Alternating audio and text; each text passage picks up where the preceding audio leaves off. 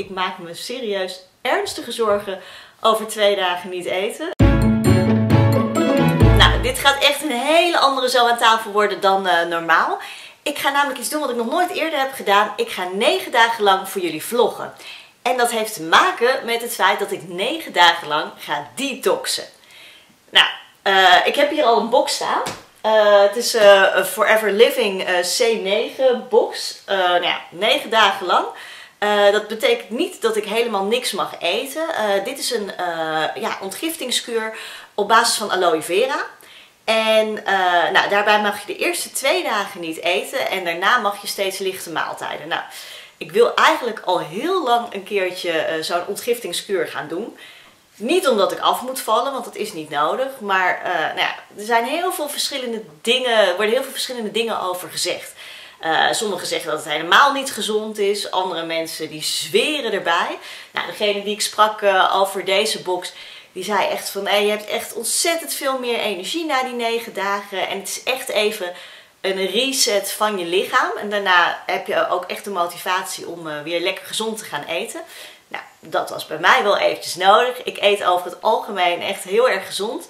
Uh, maar ik heb heerlijk lopen snacken de afgelopen tijd. En deze zomer ook veel te veel gegeten en lekker gedronken en zo.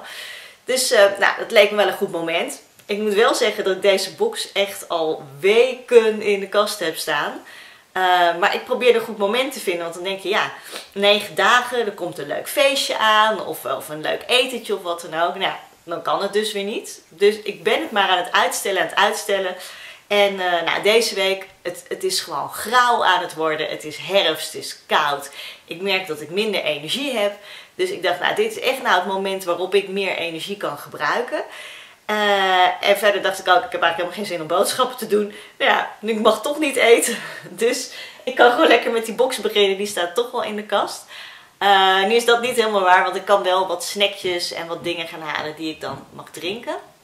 Maar goed, uh, we gaan het allemaal zien, we gaan het allemaal meemaken. Uh, ik ga vandaag beginnen, ik heb het echt besloten. Dus vanaf nu, negen dagen lang, kunnen jullie gaan ervaren, of kunnen jullie met mij gaan ervaren wat dat nou allemaal doet met je lichaam en hoe je je daarbij gaat voelen. Want ik maak me serieus ernstige zorgen over twee dagen niet eten. Want ik hou ontzettend van eten. Ik eet heel graag de hele dag door kleine beetjes. En dat is nu dus even niet het geval. Maar goed, laten we eens even kijken wat er nou eigenlijk in die box zit. Nou goed, er staat hier wat kunt u de komende negen dagen verwachten. U zult er niet alleen beter uitzien, maar u zich ook beter voelen. Uw lichaam begint met het afvoeren van opgeslagen gifstoffen die ervoor kunnen zorgen dat uw lichaam niet maximale hoeveelheid aan voedingsstoffen uit uw voeding kan opnemen. U zult zich lichter en energieker voelen, zeker wanneer u merkt dat u uw hongergevoel kunt beheersen en dat uw lichaam hierdoor ziende ogen verandert. Nou, vooral dat, dat uh, hele idee van uh, dat je even een reset doet waardoor je uh, lichaam voedingsstoffen beter op gaat nemen en dat je je daardoor dan fitter zou gaan voelen, daar ben ik dus super nieuwsgierig naar. Dat is waarom ik dit heel graag wil gaan doen. Nou, staan hier op deze bladzijde staan nog wat tips. Je moet jezelf sowieso wegen voor je begint en meten. Uh, drie realistische doelen moet je bedenken. Nou, bij mij is dat overduidelijk gewoon me wat fitter voelen. even een, een, reset om weer wat gezonder te gaan leven. En misschien ook even mijn weerstand wat versterken, nu zo net voor de winter. Je moet alles eventjes noteren. Wat je, wat je doet, wat je eet, hoe je je voelt. heel goed om het bij te houden. Ehm, voldoende water drinken minder zout, kruiden gebruiken in plaats van zout. Nou, dat ga ik proberen. Ik, ik eet best wel veel zout. Dus uh, nou, ik ga mijn best doen om daar eens op te letten. Uh, en koolzuurhoudende dranken vermijden. Nou, en dan is dit wat ik dus dag 1 en 2 ga eten. Let op. Ontbijt. 2 Forever Garcinia Plus softgels. Dus dat zijn deze twee pilletjes. Dan 120 milliliter gel, aloe vera gel.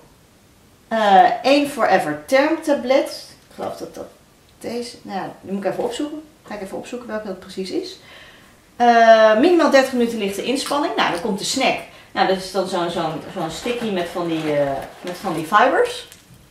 Dat is mijn snack. De lunch wordt weer twee van die softgels. Mmm, smullen. Eh, weer wat aloe vera gel, een Forever Term tablet. Eh, en dan een maatschep Forever Light Ultra. Nou, dat is dus dit. Dus dan mag ik een shakeje. Yippie. Uh, avondeten, weer twee softgels en wat aloe vera gel. En in de avond weer wat aloe vera gel. Nou, ik mag wel, om de honger te stillen, wat gezonde snacks. Dat staat op pagina 11. Nou, wat mag ik dan?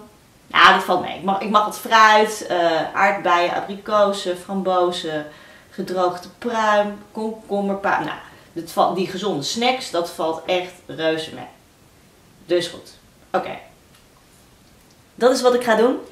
Dit is dag 1. Morgen zien jullie me terug en dan uh, gaan jullie horen hoe dag 1 bevallen is. See you later. Nou, inmiddels ben ik in de badkamer, dat hoor je ook wel.